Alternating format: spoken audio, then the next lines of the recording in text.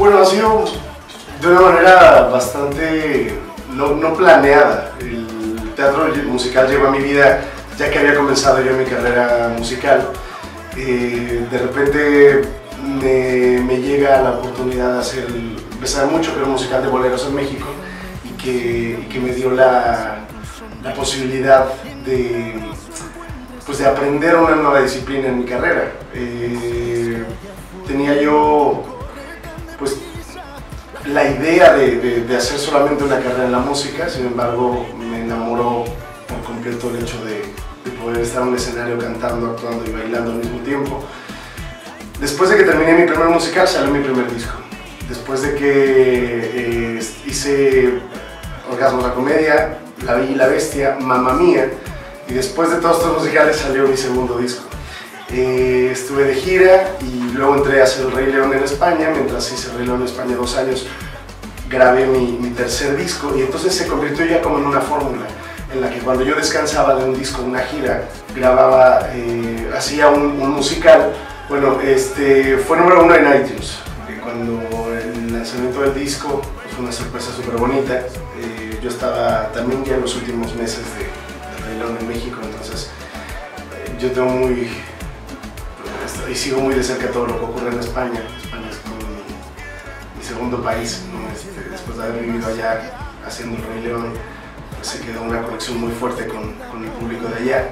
Entonces, eh, bueno, me metí, me al iTunes eh, para, digamos que ahí ya era la fecha, en México todavía no era, pero, y, veo que estoy en primer lugar, ¿no? Para mí fue una emoción tremenda porque eh, era como, pues no sé, como, como cuando, como una, una coronación de tanto cariño, ¿no? Y de tantas cosas que, que, yo le tengo a España y darte cuenta que eres correspondido, eso, eso fue tan, tan bonito.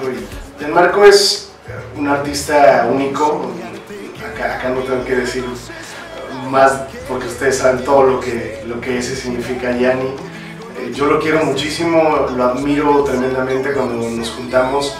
Eh, yo le dije, yo no puedo estar sentado aquí contigo y no hacer una canción que tenga que ver con el folclore de tu país, por lo tanto lo digo, es una canción que nace inspirada en su folclore eh, la pueden escuchar de hecho en la versión acústica que está tanto en un video en YouTube como la canción eh, también en audio en, cualquiera de las plataformas digitales.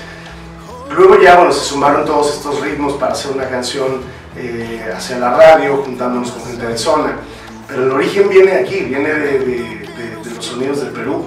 Y, y, yo tenía muchas ganas de hacer algo así porque soy un gran amante de, los sonidos de, pues, la tierra y y de, las diferentes culturas donde he tenido oportunidad de visitar. Ahorita estamos eh, recién lanzando esta edición de lujo, donde incluimos Lo Digo como, como esa canción principal. Eh, tengo planeado continuar con, con, toda la gira, que llevamos ya casi 70 conciertos, traer esa gira aquí a Perú, por ejemplo, me encantaría que este mismo año se lograra.